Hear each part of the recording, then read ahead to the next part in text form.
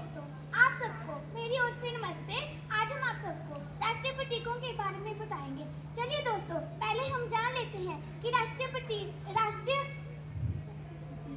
राष्ट्रीय प्रतीक क्या होते हैं। प्रत्येक स्वतंत्र राष्ट्र अपनी पहचान के कुछ प्रतीक निश्चित करता है जो उसके आत्मसम्मान स्वाभिमान गौरव एवं एकता के प्रतीक होते हैं। उन्हें राष्ट्रीय प्रतीक कहते हैं। चलिए दोस्तों हम आप सबको बताते हैं कि राष्ट्रीय प्रतीक कौन कौन से हैं।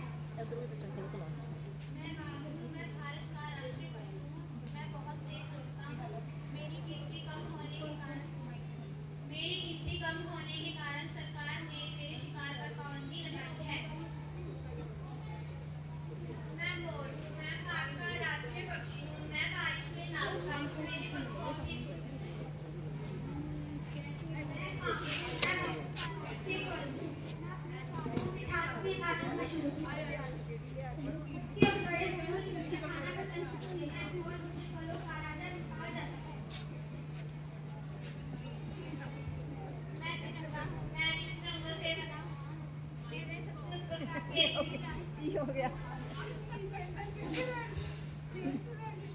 मैं तिरंगा हूँ मैं सब मैं तीन रंगों से बना हूँ। मेरे के रंग शहीदों की शहीदी सफ़ेद रंग अमन और शांति और सबसे नीचे का हरा रंग हरियाली को दर्शाता है। मेरे अंदर मेरे अंदर की जो मेरे अंदर का शोक चक्कर की चौबीस तिलियाँ चौबीस घंटे काम करने और आगे बढ़ने का संदेश देती हैं।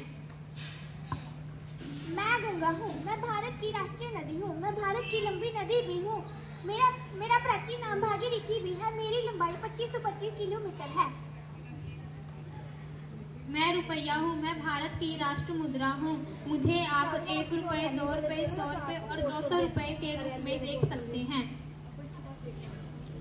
मैं कमल हूँ, मैं भारत का राष्ट्रीय फूल हूँ, मैं कीचड़ में खिलता हूँ, मेरा रंग गुलाबी या सफ़ेद होता है।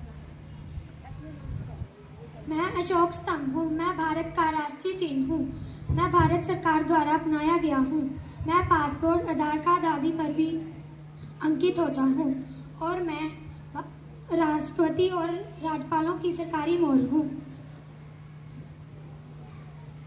मैं बरगद हूँ मैं भारत का राष्ट्रीय वृक्ष हूँ। मुझे बड़े आवट भी कहा जाता है। मैं, भगवान बुद्ध को भी मेरे नीचे ही ज्ञान की प्राप्ति हुई थी। मैं अपने विरासत और संस्कृति से जुड़े रहने का संदेश देता हूँ। मैं हॉकी हूँ, मैं भारत की राष्ट्रीय खेल हूँ। सन 1928 से लेकर सन 1956 तक भारतीय टीम ने भारत को छह ओलंपिक स्वर्ण पदक दिलाए। इस बीच उन्होंने 24 मैच खेले और सभी के सभी मैच जीते। इसलिए इसे हमारा राष्ट्रीय खेल निश्चित किया गया। मुझे बच्चे खेलना बहुत ही पसंद करते हैं। धन्यवाद।